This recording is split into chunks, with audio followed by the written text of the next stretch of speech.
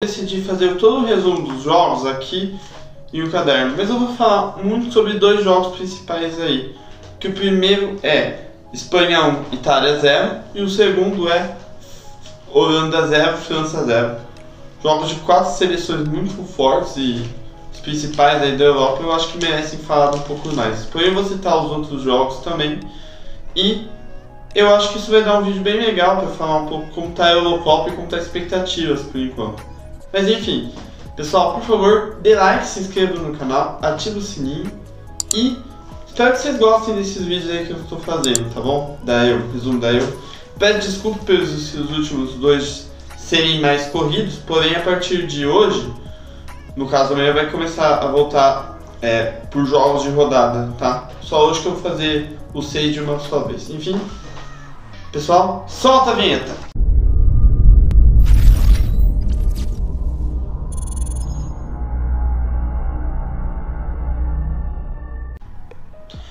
Eu resumi isso aqui em dois dias de jogos. Cada dia tem três jogos. O primeiro dia, que no caso foi, acho que antes de ontem, é, tivemos acho que talvez o menor número de gols em rodadas. Foram cinco gols no total. Porém, nesse dia não tivemos 0 a 0 até o outro dia, obviamente. Mas vamos lá. Eslovênia 1, Sérvia 1. A Eslovênia empatou com a Sérvia. Gols de Zarnik e Jovic. Ambas as seleções têm chance de se classificar. Sérvia está com um ponto, a Eslovênia está com dois. Então vai ser uma briga entre terceira vaga total aqui.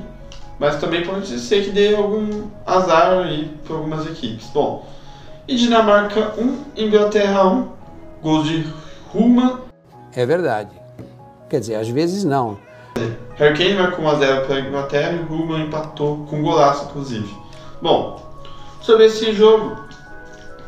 A, Dina é, a Dinamarca está com dois pontos e a Inglaterra está com quatro. Provavelmente a Inglaterra já está classificada, tá?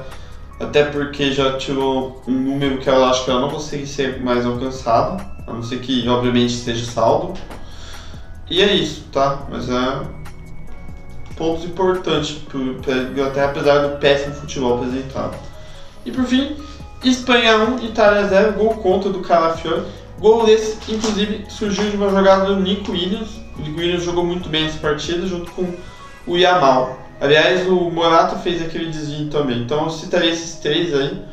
Um jogo em que a Espanha dominou por completo a Itália.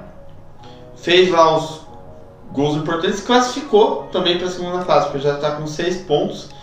E mesmo que é, perca, não conseguiria pelo menos a primeira e segunda colocação.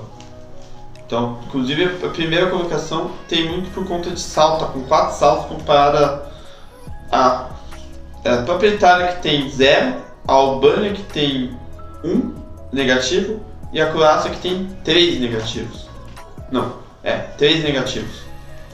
Então, a Espanha se classifica muito bem, pessoal. Eu tá com um time bem forte, vamos ver o que vai fazer. Se a última rodada, se quiser, eles até podem atrapalhar as outras duas aí. Basta deixar a Albânia vencer. Bom, vamos lá. Dia 2. A gente vai falar de Eslováquia 1, Ucrânia 2. A Eslováquia me enganou muito com o gol do Schwanz e com a partida do Bravka, que estava boa até o momento do segundo gol que eles tomam, né? Partida do Bravka me enganou muito. Acho que esse goleiro é ruim. Mas a Eslováquia que ainda tem chance de classificar, tá? Mesmo que perdeu a partida. Chaparenko marcou o gol, meu gol da Ucrânia. E o Yarenchuk marcou o segundo gol, inclusive numa bela. Como é que eu vou dizer? Belo drible que deu lá no Dubravka. Foi da hora esse jogo. Apesar de muita gente não gostar muito da Ucrânia, a Ucrânia mereceu porque virou a partida e a Eslováquia foi incompetente de ter vencido esse jogo. Bom, por fim, talvez acho que o melhor jogo desses dias foi Polônia 1, Áustria 3. Resultado esse que confirma a primeira eliminada da Eurocopa, que foi a Polônia. Mesmo com o Lewandowski conseguindo entrar, apesar de estar machucado, a Polônia fez. A Áustria começou ganhando com o Trauner de cabeça, aí o Piatek empatou, né? Já tinha alguma chance que tivesse um empate, mas aí a Áustria foi para cima.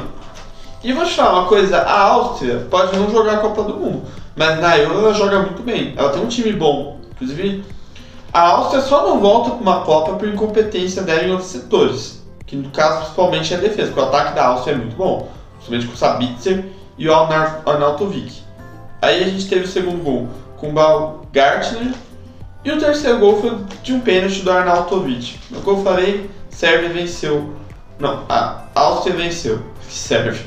Todo dia tem uma merda. E por fim, talvez o único 0 a 0 do torneio, depois de quase duas rodadas. Enfim, tivemos um 0 a 0 para minha tristeza, mas foi um 0 a 0 entre Holanda e França, um jogo até que bem disputado. O Mbappé não pôde participar logo porque ele estava com o crânio machucado, porém ele estava com aquela máscara lá. O que eu fiquei triste é que essa máscara, infelizmente, não foi de uma cor azul, violeta, é, laranja ou vermelha. Vocês sabem muito bem por quê. Bom, mas é aquela questão. A Holanda fez um jogo até um pouco melhor. Teve um gol do Chaves Simons que foi anulado devido a uma posição aí irregular do Dumfries, uma polêmica inclusive esse gol. Mas foi um 0 a 0 que talvez conforte a classificação de ambas as seleções. Porque é o que eu falei, a Holanda está com 4 pontos e a França também está. Ambos venceram as suas partidas. Então é muito mais a questão de estar tá bem confortável. A, a vaga está ali, tá? Para ambas as seleções. Não sei se eles conseguem melhor terceiro, mas encaminham a vaga. Não sei quem vai pegar o primeiro lugar, mas encaminham a vaga. Bom, enfim. Acho que isso foi o dia de hoje, tá? Espero que vocês tenham gostado. Eu fiz praticamente dois dias em um. Eu peço desculpas à ausência. A partir de da próxima rodada, da próxima jogo aí vai ser normal, tá bom? Enfim, dê like, se inscreva no canal, ative o sininho. E se quiserem que eu fale melhor sobre essas partidas aí que faltaram, eu vou fazer o Conexão Georgia ainda hoje, tá? E falou, canal Coruja!